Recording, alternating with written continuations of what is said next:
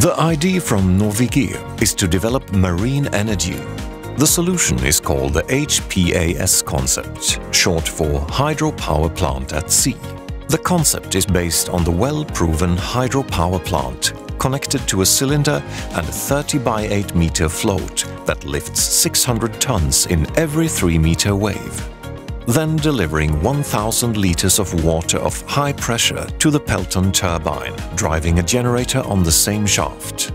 The solution is simple but has three approved patents, third-party heavy simulations and is tested both in wave tank and offshore.